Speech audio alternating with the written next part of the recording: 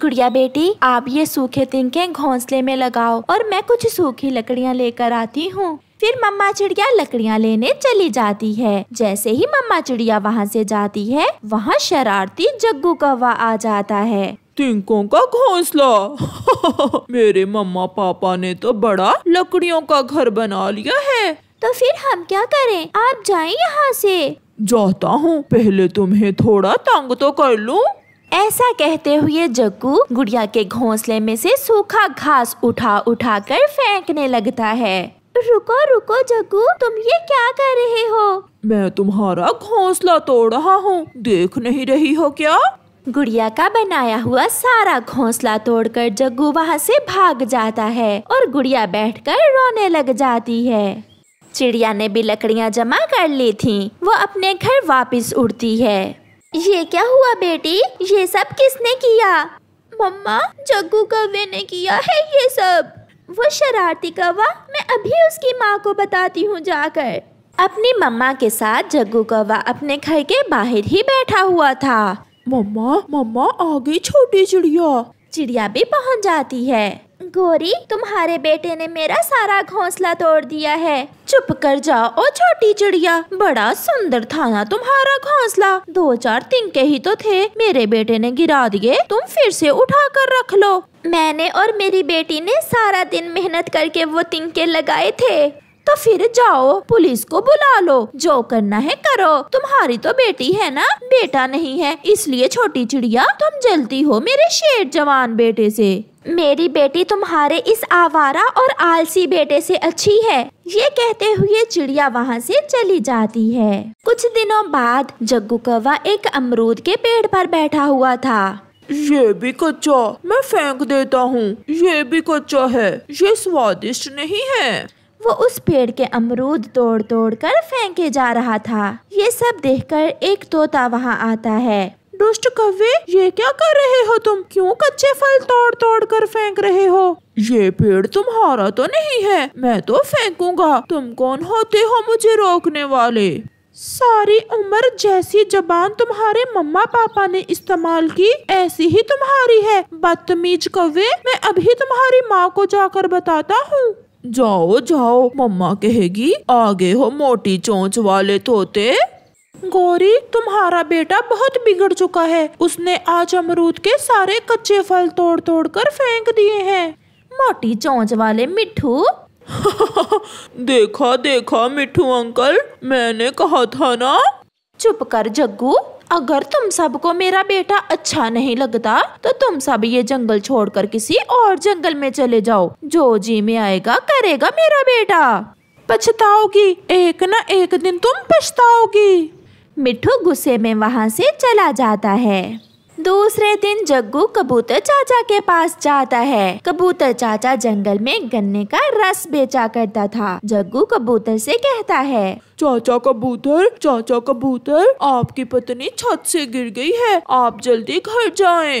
तो, तो तुम्हें किसने बताया बेटा? मैंने खुद देखा है कबूतर चाचा। कबूतर वहाँ से भाग जाता है। भाग गया। कबूतर चाचा मेरे झूठ को सच समझकर भाग गया। आज मैं जी भर के गन्ने का जूस पीऊँगा। मज़ा आ जाएगा आज। फिर जग्गू चाचा कबूतर की मशीन में गन्ना लगाकर रस निकालता है। बेख्याली में जग्गू का पंख रस निकालने वाली मशीन में फंस जाता है। वो बहुत चिल्लाता है। बचाओ बचाओ कोई मुझे बचाओ। मगर वहाँ कोई होता तो उसे बचाता। उसका पंख कट जाता है। गौरी जग्गू का पता चला बहुत दुख हुआ। एक एक था मेरा बेटा चिड़िया अपाहिज हो गया। अब कैसे ज़िंदगी गुजारेगा मेरा बेटा? गोरी बहन बच्चों को शरारत से रोकना चाहिए मगर आपने हमेशा जग्गू को शरारत करने पर शाबाश दी। हाँ चिड़िया आंटी मैं बहुत शर्मिंदा हूँ मगर अगर मेरी मम्मा मुझे शरारत से रोकती तो ये सब ना होता ना मेरा पंख टूटता और ना मैं अपाहज होता। जग्गू रोते हुए चिड़िया से ऐसे कहता है कालू कौवा शाम को अपने घर लौटता है। गौरी जल्दी से खाना लाओ। बहुत भूख लगी है। आज तुम भूखे ही रहोगे। मैंने कितनी बार बोला है मुझसे नहीं चलती अब लकड़ियों के चूल्हे में आग। मुझे भी चिड़िया की तरह गैस सिलेंडर ला कर दो। सिलेंडर पैसों का आता है। मैं कैसे ला दूँ तुम्हें गैस सिलेंडर? मेरा सारा रंग काला हो गया है। जब मैं बिहा कर इस घर में आई थी तो गोरी चिट्टी थी। देखो तुमने मेरा क्या हाल बना दिया है। ये सुनकर कालू कौवा हंसने लग जाता है।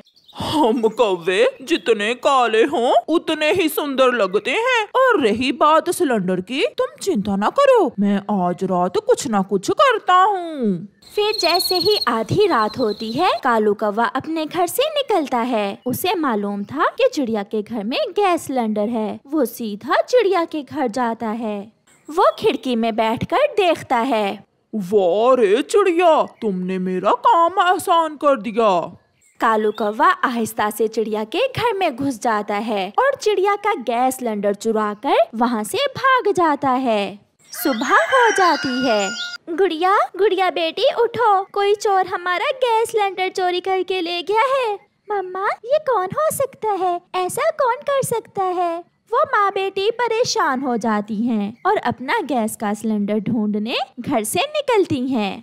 अभी इसे छुपा कर रखना, इसे इस्तेमाल न करना। मैं अभी रंग लेकर आता हूँ और हम इस सिलेंडर पर रंग करके इसका रंग तब्दील कर देंगे, ताकि चिड़िया को पता न चले कि ये सिलेंडर उसका है। जल्दी आना पति जी। मैं बहुत एक्साइटेड हूँ सिलेंडर चलाने के लिए। कौवा जाता है और कबूतर चाचा की दुकान से एक रंग की बोतल लेता है। चिड़िया भी वहाँ आ जाती है। कवे भैया, मेरा गैस सिलेंडर चोरी हो गया है। होगा मुझे क्या मालूम? कौवा ऐसा कहते हुए रंग की बोतल लेकर वहाँ से भाग जाता है। घर जाकर वो रंग करके सिलेंडर का रंग तब्दील कर देता है। अब छोटी चिड़िया देख भी ले तो पहचान नहीं सकेगी कि ये सिलेंडर उसी का है। कालू जी अब जल्दी से मुझे ये सिलेंडर चालू कर दो ताकि मैं खाना बना सकूँ। कालू सिलेंडर चलाने की पूरी कोशिश करता है मगर वो नहीं कर पाता। गोरी मैंने पहले कभी सिलेंडर से आग नहीं चलाई। मुझे तो कुछ समझ नहीं आ रही कि ये कैसे चलेगा। कालू जी तुम्हारा मामा बहुत सियाना है। जाओ और जल्दी से अपने मामा जी को बुला कर लाओ। शायद उसे मालूम हो। हाँ गोरी मैं अभी मामा जी के पास जाता हूँ। मिठू भैया मेरा गैस सिलेंडर किसी चोर ने चोरी कर लिया है। आपने देखा तो नहीं किसी को? नहीं चिड़िया वो चोर जब सिलेंडर चलाएगा तो ज़रूर पकड़ा जाएगा। तुम चिंता ना करो। कालू कौवा भी अपने मामा जी के पास पहुँच जाता है। मामा जी बहुत मुश्किल से मैंने चिड़िया के घर से सिलेंडर चोरी किया है मगर हमें मालूम नहीं कि उसे चलाएँगे कैसे। गैस का सिलेंडर चलाना कौन सा मुश्किल काम है? मैं तुम्हारे साथ जाता हूँ और देखता हूँ कि कैसे नहीं चलता गैस सिलेंडर। कालू कौवा और उसका मामा वहाँ से उड़ते हैं। हाँ चिड़िया क्या हुआ? तुम यहाँ क्यों आई हो? मुझे आपके घर कुछ देखना है। क्या देखना है? यही बता दो। आंटी हमारा सिलेंडर चोरी हो गया है। हम वो ढूंढ रहे हैं। चिड़िया गोरी कवि के घर में चली जाती है। गोरी ये नया सिलेंडर तुमने कब लिया? क्या? तुम्हारा क्या ख्याल है कि एक तुम्हारे पास ही गैस सिलेंडर है? ये नया सिलेंडर मेरी माँ ने मुझे भेजा है। चले मम्मा यहाँ तो हमारा सिलेंडर नहीं है। चिड़िया रुको। जाते जाते मुझे ये तो बता दो कि इसे कैसे चलाते हैं। वो ऐसा है ना मुझे मालूम नहीं कि सिलेंडर चलाते कैसे हैं। इस बटन को सीधा घुमाने से गैस खुल जाती है और फिर चूल्हे को आग लगाने से आग जल पड़ती है। चिड़िया वहाँ से चली जाती है।